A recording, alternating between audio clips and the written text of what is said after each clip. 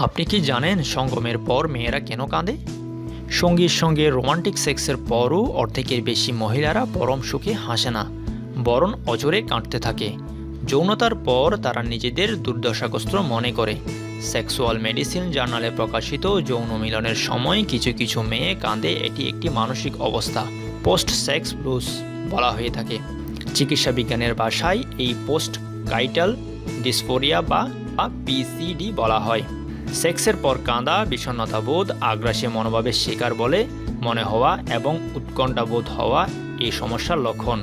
সম্প্রতি এক গবেষণায় আমেরিকায় দুশো জন মহিলার ওপর সমীক্ষা চালানো হয়। এদের পাঁচ শতাংশ জানান, গত মাসগুলোতে বেশ কয়েকবার তাদের এই সমস্যা হয়েছে। দু হাজার এগারো সালে international journal of sexual health এ প্রকাশিত প্রতিবেদনে বলা হয়, এক তৃতীয়াংশ মহিলা তৃপ্তিদায়ক যৌনকর্মের পরও বিষণ্ণতায় ভোগেন। তারা কান্নার পেছনে বেশ সময়ও ব্যয় করেন। এমনকি সেক্সের আগেও অনেক মহিলা আবেগ ঘনীভূত হয়ে পড়ে। আঠাশ বছর বয়সে লরা নামের এক মহিলা জানান, সঙ্গী তাকে জড়িয়ে ধরার পর তিনি হাওমা করে কেঁদে ফেলেন। অনেক সময় এ কাঁদা বা বিষণ্ণতা অবস্থা কয়েক ঘণ্টা ধরে স্থায়ী হতে পারে।